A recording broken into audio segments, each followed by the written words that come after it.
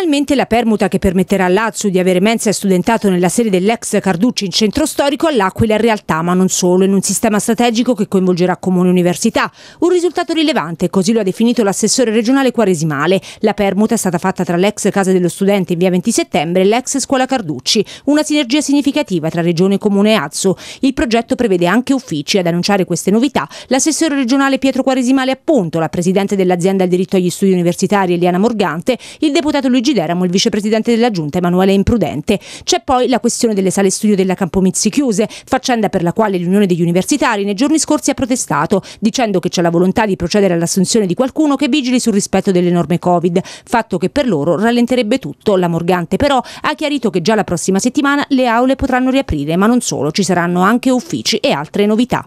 La Carducci, l'ex Carducci ospiterà la mensa e alcune, diciamo, sono riservati alcuni posti per la residenza e poi in previsione nel, nel nostro programma c'è anche l'acquisto dell'ex clinica universitaria per realizzare gli uffici, per dare uno spazio dignitoso agli uffici dell'ADSU. C'è la questione della Campomizzi, è stata oggetto di polemiche nei giorni scorsi da parte dell'UDU delle sale studio chiuse. Eh, com'è la situazione? Quali precisazioni vuole fare in questo senso? Sì, possiamo ehm, tranquillizzare gli studenti, c'è un'indicazione, c'è un indirizzo preciso del CDA alla direzione, agli uffici perché queste sale possano essere riaperte immediatamente.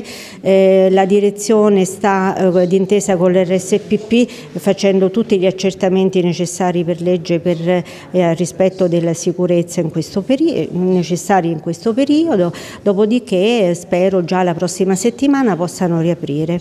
Dirò di più, abbiamo dato disposizioni anche per la riapertura del bar eh, nella mm, sede del Canada dove ci sono altre sale studio Inoltre c'è la situazione della Campomizzi, che è di proprietà del demanio, con la concessione che scadrà a breve. La Morganti ha spiegato che c'è possibilità di una proroga, ma se così non dovesse essere, ci sono in campo soluzioni alternative. E poi le borse di studio. Si stanno scorrendo le graduatorie, ha detto l'assessore Quaresimale, con 274 borse di studio a tutti gli eventi diritto. Siamo in attesa eh, della risposta del Ministero della Difesa eh, al quale ha fatto precisa richiesta il nostro assessore Quaresimale e mh, mm, nel, nel, frattempo ci stiamo attivando.